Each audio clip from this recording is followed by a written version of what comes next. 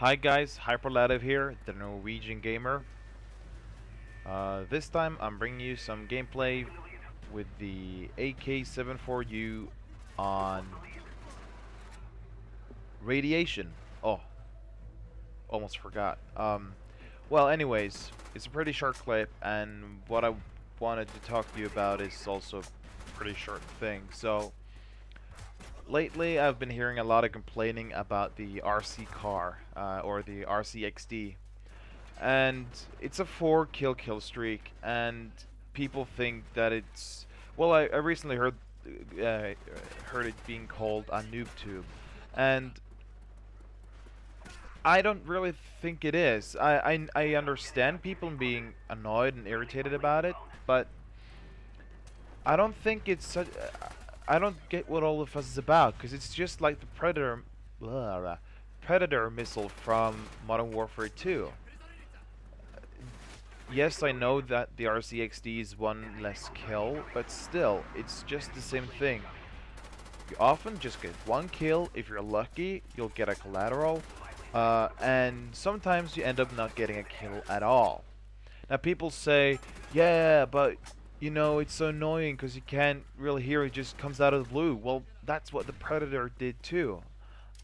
I, of course you could see it coming down on the radar, but you couldn't really know right before it hit where it was actually gonna come down.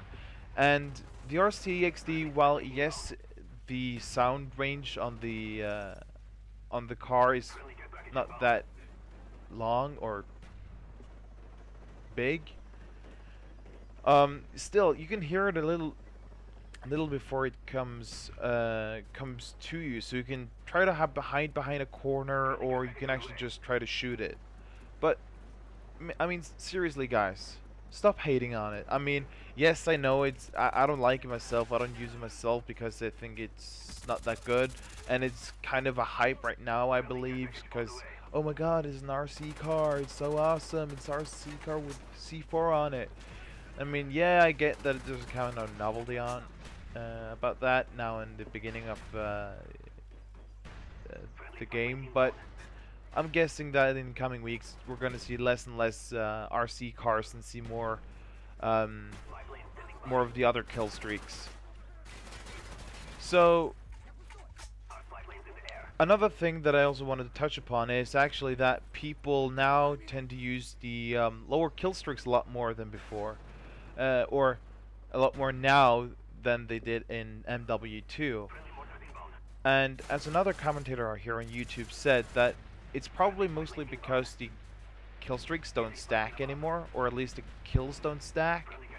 So people don't get the the higher kill streak that easily. So more people end up use uh, setting up using a setup with the lower kill streaks. So we see a lot more UAVs than before, and we also see, of course, see a lot of RC cars. Uh, but as I said, I, I think just think that's a novelty, and it'll wear off in the coming weeks. But still, you know, so I think I think that's actually. Um, I just completely lost my train of thought right now. Well, if I forgot, it can't, couldn't be that important. So I guess that's all for now, and I'll leave you to the clip. Hope to see you next time. Snackers.